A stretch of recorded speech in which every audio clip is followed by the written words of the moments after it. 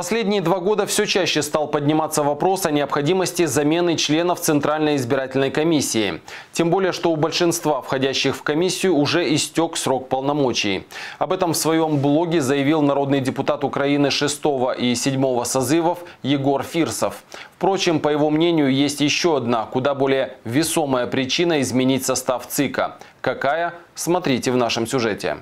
Знаете ли вы, что большинства членов Центральной избирательной комиссии уже истек срок годности, вернее, полномочий? Во всяком случае, 12 из 15 уже давно пересидели свой срок. Но если оставить в стороне вопрос, так сказать, комиссионного стажа, найдется более веская причина, о которой в своем блоге и написал известный политик Егор Фирсов. Как часто бывает в нашей стране, лояльность и подконтрольность руководства госоргана становится его иммунитетом к действующим нормам и законам, так и с ЦИК, приведя к победе президента Порошенко, обслуживая результаты результат БПП на парламентских выборах, закрывая глаза на беспредел, творившийся во время до выборов и, наконец, обеспечив результат партии власти и сателлитов на местных выборах. Ахиндовский и Ко получили мандат абсолютного доверия. И если не начать кампанию давления на администрацию президента, мы рискуем остаться с этим же карманным ЦИК как минимум на ближайшие июльские до выборы и как максимум на следующие парламентские. К мнению Егора Фирсова присоединились и другие известные политики, чиновники, журналисты и общественные деятели, которые записали свое видеообращение к президенту, где каждый из них рассказал, почему надо изменить состав ЦИК.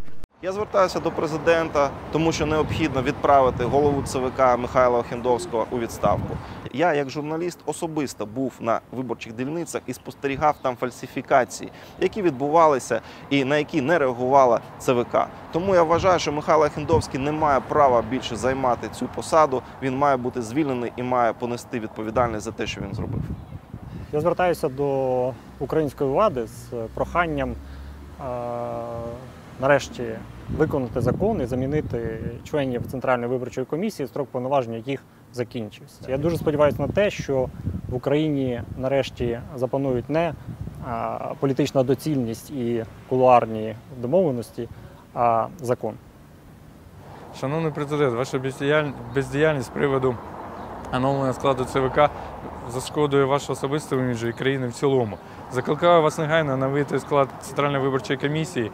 Е, припинити існування правового нігілізму в Україну і забезпечити достойне загальноєвропейське адміністрування виборів.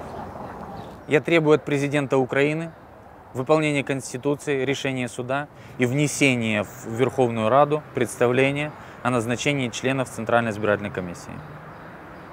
ЦВК потребує довіри. Президент змінить ЦВК. Я вважаю, що незміна членів ЦВК є проявом політичної корупції, тому що якщо члени ЦВК не змінюють, значить це вигідно вищому керівництву країни, яке готується до виборів по мажоритарних округах. Я требую увольнения Хидовского, потому как он является первым пособником сепаратистов и оккупационного блока. Термін повноважень більшості членів ЦВК сплив майже два роки тому. Склад ЦВК повинен бути змінений. Закон має бути один для всех. Я прошу президента, чтобы он изменил состав Центральной избирательной комиссии, так как не хочу, чтобы на следующих выборах мой голос был украден. Я за честные и справедливые выборы. Господин президент, вы понимаете, что делегитимная Центральная избирательная комиссия подтачивает ножки не только у вашего трона, но и вообще в украинского государства? Это не только безответственность, но и признак политического преступления. Так быть не должно. Я требую от президента Украины заменить действующий состав Центральної избирательной комісії. Пане президенте, скажіть, як ЦВК може керувати людина, яка носить годинник вартістю 50 тисяч доларів, маючи офіційну зарплату в декілька тисяч гривень?